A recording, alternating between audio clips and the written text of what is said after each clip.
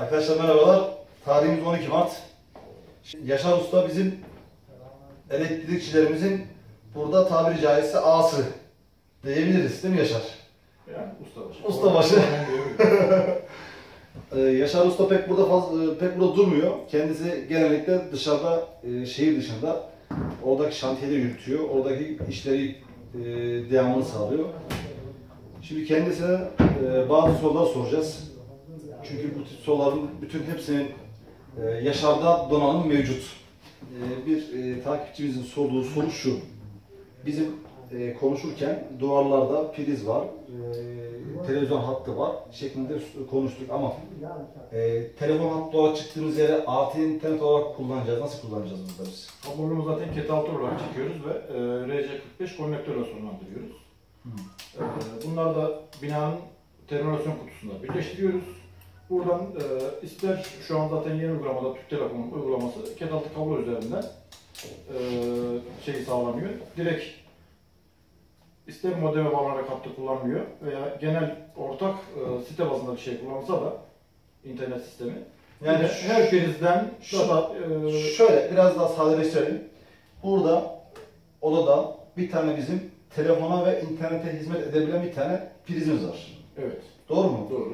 Bu prizden iki çıkış mı var, tek çıkış mı var? Tek çıkış var. Bunu e, ayrı ayrı telefon hattı kullanmak isterlerse 4 ayrı telefon kullanılacak şekilde kapsar zaten ket altı olduğu için. Yani altyapı bunu kapsıyor da Alt telefonu kapsıyor. Ha, yani buradan telefon takıp telefonu kullanabiliyor veya modem takıp modemi kullanabiliyor mu? Evet, dilerse e, direkt internet sistemi artık e, yeni binalarda o şekilde Toplu.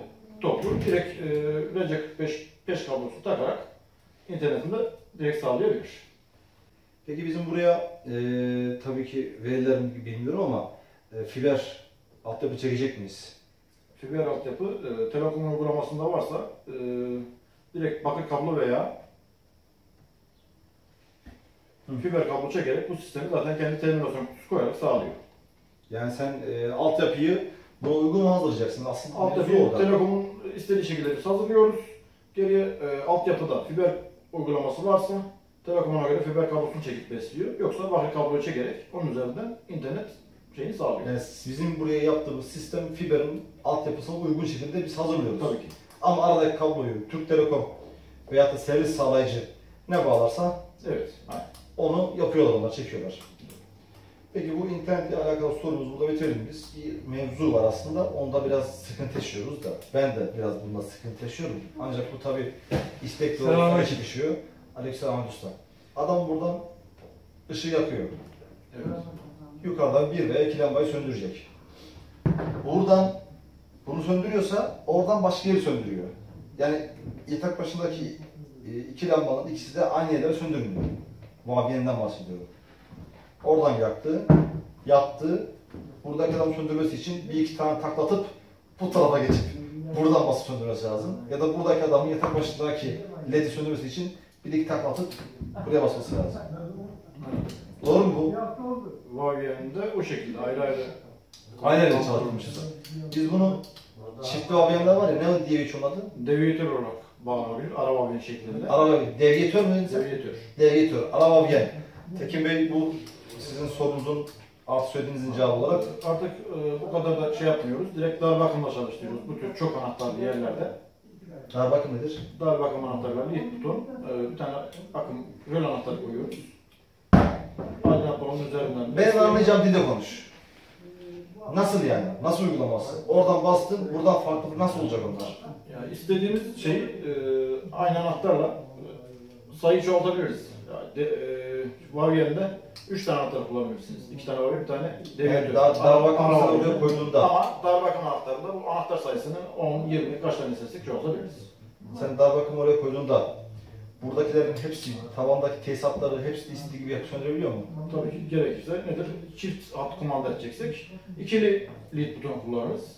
İki tane dar bakım anahtarıyla çözeriz. Peki maliyette bizim elini değiştirir bu? Maliyette e, kablo maliyeti aşağı yukarı aynıdır. Anahtar yine aynı şekilde. Hatta lead buton vaviyen anahtara göre daha uygundur fiyatı.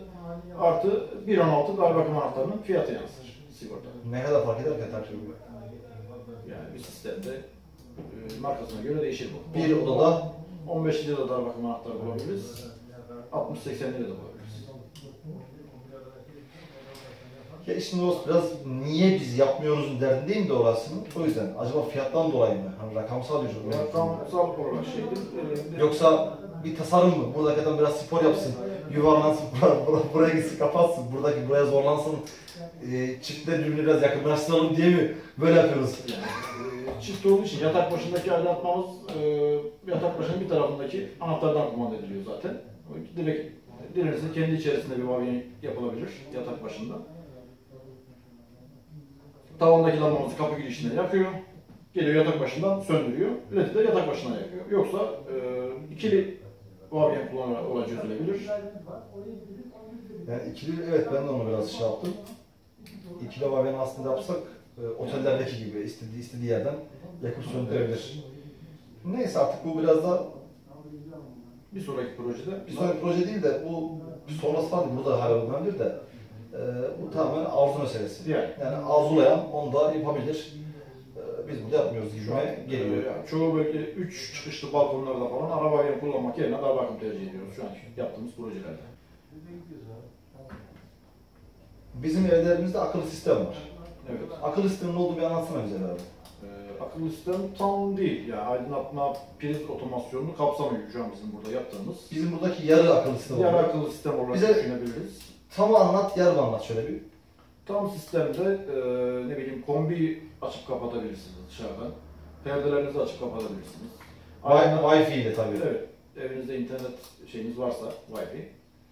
Ee, tavandaki aydınlatmalarınızı şeyle açıp kapatabilirsiniz uzaktan kumandayla. Bizim burada e, yaptığımız sadece nedir? E, duman dedektörü evde bir yangın algıladığında elektriği kesebiliyor, gazı kesebiliyor. Gaz dedektörü algıladığında gaz sistemini, gaz vanasını kesiyor.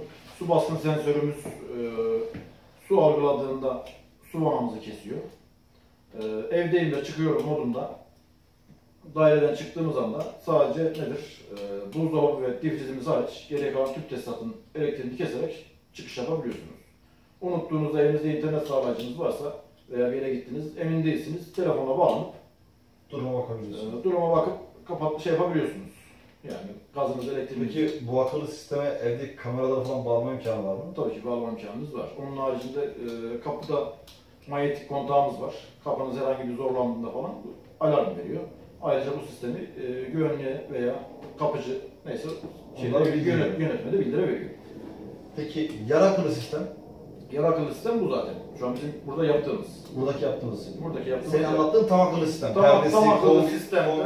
bileyim, panjurumuzu, şalüzinizi, perdenizi, aydınlatmanızı, prizinizi, her şeyinizi ayrıca kumanda edebiliyorsunuz. İşte telefon üzerinden halledebiliyoruz.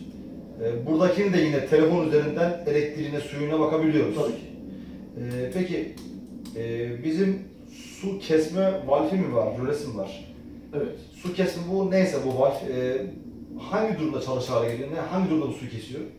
Suyu e, sadece su, su baskın sensörü su algıladığında veya evden çıkarken e, sizin diyafon sisteminizi kurmanıza bağlı. Çıkıyorum modunu aldığınızda elektriğinizi, suyunuzu, gazınızı kesip çıkabiliyorsunuz. Direkt otomatik kesiyor hepsini. Evet. Peki e, kaçak olduğunu anladı. Nasıl anlıyor bunu? Kaç santim suyu görüyor? Ne yapması lazım? Debiyi mi ölçüyor? Yani yerdeki e, bir misina gibi küçük bir şey var. Zemine değiyor. Yani yerdeki ıslaklığı atıyorum e, 0.50 milim. Yarım santim suyu algıladığında veya 2 milim suyu algıladığında sistemde Doğru. değiyor. Şimdi e, biz arkadaşlar biz bazı şeyleri uygulayıcı ustaya sorabiliyoruz yeri geliyor. E, ancak tabi bunu ehil kişilerden dinlemek biraz daha farklı doğru bilgileri veriyor bize. E, biz Ahmet Usta'yla konuştuğumuzda belki tabii ki o her şeycikte bir kayıt yok. Belki o sistemi çok da bilmeyebilir. Yani. Ee, Ahmet Usta 10 santim gibi bir tabir Yok, kullandı. hayır. 10 santim su bastığı falan gibi bir tabir. Ben de şaşırdım. Böyle 10 santim su dedim. 10 santim su. zaten 10 santim bulamaz. Zaten aynı kodda her yer bulamaz. Ee, hem aşağı verir hem tuvaletten çıkar gider su. Zaten su baskın sensörünü sadece mutfakta kullanıyoruz. WC'dir, e, banyodur, bu tür yerler sürekli zemin ıslak kalabileceği için, Kullanmıyoruz. kullanmanın gideri olduğu için zeminde Sen diyorsun ki Kullanmıyor. bir bir e, misina gibi bir şey değil mi? Yani ince bir şey yani. İnce bir algılayıcı var. Zemine kadar değil. Rölede zemine kadar geliyor. Zemine şöyle yarım santim Belki 2 milim yani şu an. 2 milim. sistemi- Yani sen ne ayarlarsan 3 santim, 5 santim, 10 Evet. santim, Evet. 1 milimetre ne ayarlarsan o suyu gördüğün anda diyorsun tık atıyorsun Su şey kesiyor. Su vanamızı kesiyor. E peki e, orayı silerken o zarar görmez mi o algılayıcı şöyle silerken falan? Bu zaten e, mutfak dolabımızın arka kısmında yani çamaşır bulaşık makinesinin arkasında olduğu için orası sürekli silinecek bir mahal değil. Değil de bastı su. ıslandı. Sen bunu sildin. Bu bozulurken düzelebiliyor mu yoksa birileri bunu düzeltecek mi? Zaten sabit kalıyor. Buzulsa da geri kendi yerine geliyor. Ha, anladım. Biraz daha netleşti iş değilse. Güzel. Ee, yangın sensörüne de bağlı demiştin. Buna. Evet. E, burada bildiğim kadarıyla mutfaklarda gaz sistemimiz yok. Yok. Yok. Burada yok. Biz ona göre konuştuk sadece. Burada yok. Evet, onun için e, gaz olmadığı için gaz manamız yok burada. Sadece duman sensörümüz var ve su baskın sensörümüz var. Anlaşıldı. Yani dumanı gördüğün zaman zaten bütün hepsini kesiyor. Yani. Yani. Elektriği hemen hemen kesiyor. Ayrıca şeyde bilgi veriyor zaten bu. Anlaşıldı. Merkez- Sağ sola merkez merkez sistemi. sistemi de veriyor. Tamam. Bu da güzel oldu. Ee, en azından millet bilsin. Şimdi bir e, Gökhan Bey miydi adı? Gökhan Bey olması lazım galiba. Diyor ki ben diyor triplex yaptı, yapacağım diyor. Galiba kendi şahsına yapacak. Yapacağım diyor ve bu hattı sistem diyor. Bu hattı sistem olunca diyor her katta diyor birer tane pano var bir halinde diyor haklı olarak. Ben diyor bu hatsız sistem kullanmak istiyorum diyor. Girişte diyor akıllı sistem yapacağım diyor. Hepsi diyor oraya dol- dolsun diyor. Bütün borular. Tam akıllı sistem yapacaksa hem anahtarlardan, hem aydınlatmalardan, hem prizlerden direkt panoya Aynen. hat çekilmesi gerekiyor. Hat gerekiyor. Ee, projesi bu hat dolup da bunu böyle yapmasının mahsuru olur mu? Öyle yapmasının mahsulü olmaz. Şu an zaten... e, Bu hatlı mı iyidir, bu o mu iyidir? Fark etmez. Bu hatsız sistemde olanlarda da bazı firmalarda şu an e, ilave kumanda kablosu çekerek veya uzaktan kumandalı röle takarak aynı sistemi çalıştırabiliyorlar. Yani Sistemi. şöyle söyleyeyim Yaşar abi. Burası bu hatlı sisteme göre projelendirilmiş. Ve biz buna bu hatsız yaptık. Yarın bir gün burada bir yangın çıktı. Bir şey oldu. Ee, bir kişi geldi dedi ki kardeşim bunun projesi bu hatlı. Ama siz bu hatsız yapmışsınız. Şimdi şöyle zaten... e, Buradan bir sıkıntı doğar mı? Hayır. Bu hatla yapacağımız sistemde üstte bu hat koyuyoruz. Alta prizlere kasalara inişleri yapılıyor. Anahtarlar. Bana göre sanki bu hatsız daha iyi gibi. Bu hatsız sistemde de Hani daha iyi Ha, şu şu da var. Daha iyi şurada. Sen burada 3 tane 4 tane prizin enerjisini toplayıp bir volta vereceğine her birinin enerjisi panodan bu dağılıyor. Daha az yük tam akıllı, taşıyor. tam akıllı sistemde. Öbür e, ayrı bir bu hatsız sistemde de bağlantıyı bu hatta değil de kasaların arkasında yapıyorsunuz. Birbirine atlayarak gidiyor. Şöntliyor yani. Şönt. Şönt dediğimiz şey birbirinin bağlantısıdır arkadaşlar. Şönt odur. Derin, Yani, derin kas, geçmeli kasa. yani şu, şu bir kablo, ana dağıtıcı kablo özel. Şurada bir tane aldınız, burada bir tane aldınız. Hepsi bunların yani şönt yapmış, atlamış oluyor. Biz buna şönt sistemi diyoruz.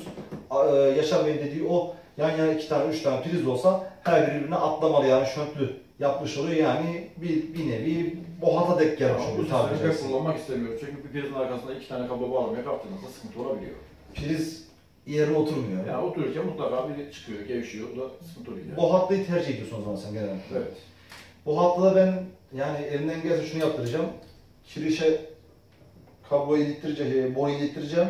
O hattı duvar koyduracağım. O da olabilir. Yani gerçi biraz anlaşma bağlı anladığım kadarıyla da çünkü işçiliği arttırıyor herhalde. İşçiyi arttırıyor. Biraz e, zaman olarak şey olabilir. Şantiye inşaat sistemini zaman tanırsa neden yapmaz? Anlaşıldı. Ee, bir de bizim izlambalarımız var. Evet.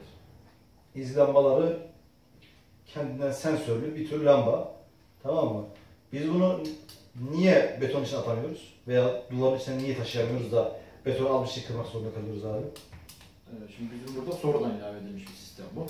Normalde e, ilk baştan sisteme dahil edilmiş olsaydı beton borularına bunların boruları atarak çözülebiliyor. İyi de şu an biz hala kat, kat atıyoruz. Hala beton atıyoruz. Şu anda da yapabilirsin.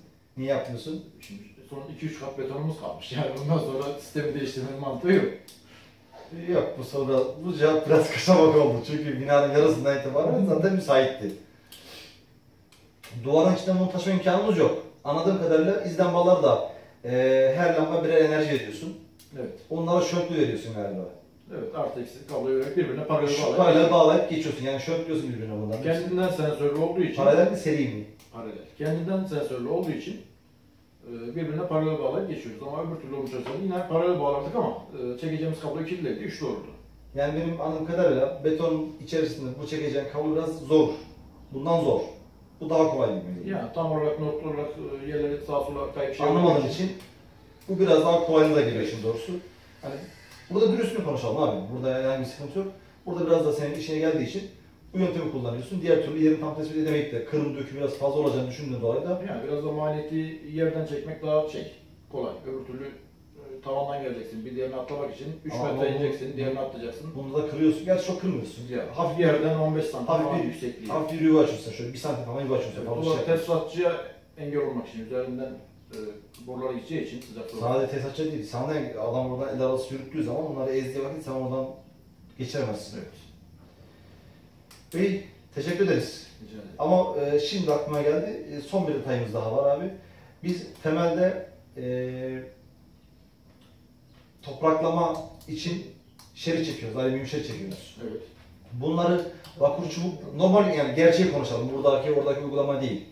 E, vakur çubukla mı yere sabitlemek iyidir yoksa bakır levhayla mı yere sabitlemek iyidir? Yani levha artık pek kullanılmıyor. Bunun yerine e, bakırın kalın ve uzun olanı tercih ediliyor. Uzun ve bakır olanı kullanılması gerekiyor ama levha daha sağlıklı gibime geliyor bana. Onu şu an için bilmiyorum artık. e, Bunu biraz daha levha- herhalde elektrik mühendisinin cevabını mesela. kullanan yok yani. Projede ne çiziliyorsa biz onu uyguluyoruz. Proje çizimi uyguluyoruz. Peki, eee, biz normalde burada şeyi, eee, bu topraklamayı çatıya kadar taşımıyoruz. Taşımıyoruz. evet. Bunun normalde taşınması gerekiyor. Resmi kurumların birçoğunda e, Resmi kurumların dışında hiç çatıya, taş, çatıya taşıyan var mı bunu? çok bazı özel projeler. Yani özel böyle konut işlerinde falan yok. Konutta yok. Hep yani spesifik projelerde ve Evet. kurum işlerinde Evet. çatıya kadar taşıyorsunuz. Ama bunda şey için istiyorlar, eğer ki çatı, e, sat çatılarda çatıya kadar çıkan e, topraklama şeritleri tavandaki saca birleştiriyorlar. Sac, sac olmazsa Saç olmazsa e, çatı içerisindeki son katın demir dilatasyonuna bağlayıp sonlandırıyoruz. iyi de zaten bütün demirler birbirine dokunuyor. Tabii kadar aşağıda. Dokunuyor zaten topraklama şeridi de bir tür demirdir yani. Alüminyum. Alüminyum değil. Demir mi? Saç. Sac mı o da? Ne anlamı kaldı? Yani, İyi, hiçbir anlamı yok. yani. Bir de bunun çatıya çıktığı zaman, çatıya çıkar, çıkarırsan izolasyon sıkıntısı var. Ve beton da çıktığı için pek izolasyona bir sıkıntı Betona yok. yukarı çıkmadığın zaman. Paratönleri peki buna bağlıyorlar mı? Hayır. Paratönler buna bağlı zaten Paratör tamamen cayır cayır beton topraklama galiba. sisteminde bağımsız. O ayrı gidiyor. Yukarı dışarıdan ayrı gidiyor. Bina Biz dışından. makroda yaptığımız, makro tarafından yaptığımız öyleydi. Burada da yapacağız zaten. Aynı. Binanın dışından ayrı bir hatla gidiyordu. Evet. Anladım. Abi teşekkürler. Çok sağ ol. Rica ederim şefim. Allah razı olsun. Şu anda örnek dairedeyim. Burası bizim aylar önce kurduğumuz bir örnek dairemiz. Evet, karşıda benim. Merhabalar. Tekrar. Şimdi arkadaşlar e, sabahleyin e, bazı sorularınızı yanıtlamaya çalıştık ustabaşımla beraber. Tabii ki ben e, ilave olan yorumlarınızı görmediğim için bunlar kendilerine sormadım. Şimdi bu bizim görmüş olduğunuz bizim akıllı sistemimiz. Bunların farklı markalarda farklı model- modelleri var. Tabii ki bizim ustalarımız diyorlar ki Bunlar göz hizasında olacak. Baran Bey ve Tekin Bey kesinlikle katılıyor- katılıyorum. Göz hizamız bizim şurasıdır. Orası da 160'tır benim fikrimce. Şöyle baktığımda evet tam olarak 160'ı şu anda okuyabiliyoruz. Eğer buraya konulacaksa bizim bu e, akıllı sistemimiz, ekranımız 140'a tekabül ediyor. Bunu ben az evvel hatta e, ustalaşımla görüştüm. Onların diyor açıdan sonra kasalar konulduğu için diyor e, alçıdan sonra diyor biz bu kasaları diyor buraya koyabiliriz diyor ama ben bunu birazdan ustalarımla görüşeceğim ve bunu 160'a doğru çıkaracağız. 160 demek şu demek e, bizim şap kutumuz arkadaşlar 7 santim. Evlerinde 10 santimdi 7 santim e, şap kutumuz var. Şimdi bizim e, 6 santim 7 santim şap kutumuz var. Ve biz bunu ustalara söyleyeceğiz. Ona göre bunları 160'a koyacaklar. Bakın burada belli başlı bazı ayarlar var. Ba- Bastığınızda işte kapıcısı, işte kameraları, e, işte varsa güvenliği veyahut da e, tayin etmişseniz eğer komşu şeklinde bazı aramaları ve iletişim olayımız var. Şimdi buna girdiğinde de bakın bunda o güvensiz manasındadır o e, elektriklerimizi veyahut da suyumuzu başka neyimizi bağlamışsak onları şu an aktif, ede, aktif edebiliyoruz. Tekrarında buna bastığımızda yani güvenli modu aldığımızda da e, ne kadar kapalı olması gereken ayar varsa bunları kapatabiliyoruz. E, bu, bu, bu şekildedir. Bizim elektrik anahtarlarımızın gelmesi gereken mesafe 110'dur. Şu anda burası da 116 falan. Bunların 110 gelmesi gerekiyor. Bizim e, dairemizde. Ustamızın ne dediği önemli değil. Sonuç itibariyle onları e, biraz aşağı biraz yukarı gerekirse kaydırıp onları gerekli gelmesi gereken yerlere getireceğiz. Şu anda bunlar 116 geliyor burada. Bunlar 110'a düşürülecek şeklinde ayarlanacak. Sizin bana sormuş olduğunuz neyimiz var elimizde? İç tesisat projesi. Baran Bey özellikle siz bu konuyu sormuştunuz. İç tesisat projemiz mimari projemizin onaylanması durumunda e, bizim iç tesisat projemiz alınıp onaylanıyor.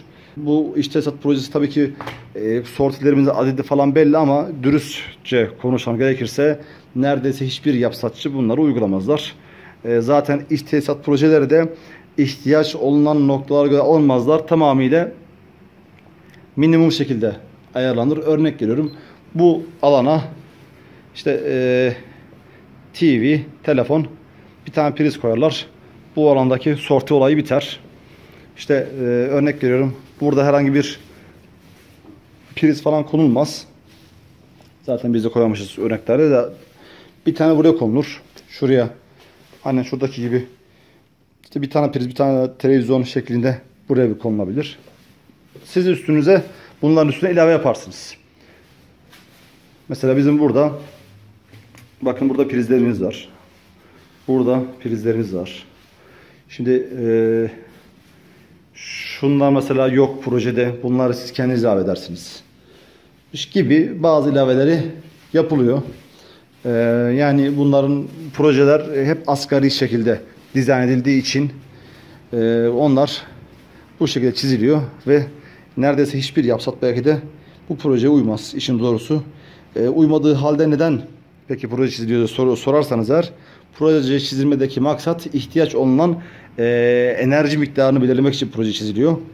E, Tabi daha sonra enerji sahadan veyahut da oranın elektrik dağıtıcı firması kimse o gelip bir kontrol neticesinde ihtiyaç olan elektriği daha kesin bir hesapla belir- belirledikten sonra sizin ihtiyacınız olan enerji kablosunun çapını belirliyor. Bu hatlarımızı bir kişi çakmaz. Birden fazla kişi çakar.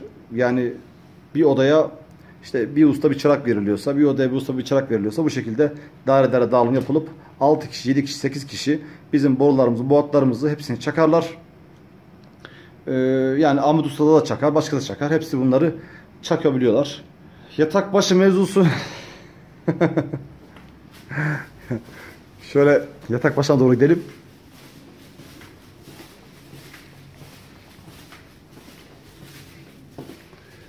Evet burası bizim afaki olarak yatak başımız. Ee, şimdi